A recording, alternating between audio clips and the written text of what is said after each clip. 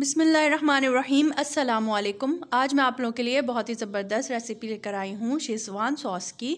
तो चलते हैं हम इंग्रेडिएंट्स की तरफ़। यहाँ पर मैंने ड्राइड लाल मिर्चें ली हैं, एक कप और दो कप उबला हुआ पानी लिया है। अब मैं इन मिर्चों को पानी में डालकर भिगो के रख दूँगी तकरीबन दो घंटे के लिए।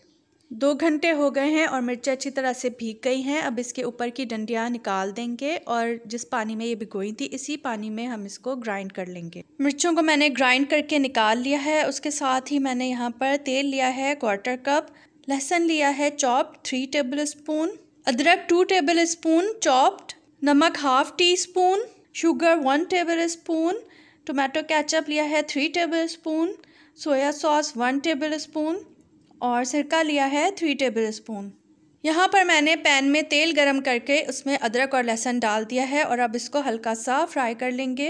अदरक लहसुन फ्राई हो गया है, अब हम इसमें पिसी हुई मिर्चें डाल देंगे. इसको हम तेज़ आँच पे कुक करेंगे जब तक कि इसका पानी ड्राई नहीं हो जाता.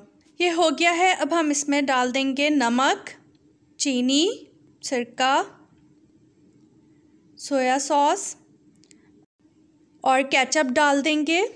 सारी चीज़ें डालकर इसको इतनी देर तक कुक करना है जब तक के तेल ऊपर नहीं आ जाता और इसकी अच्छी तरह से भुनाई नहीं हो जाती।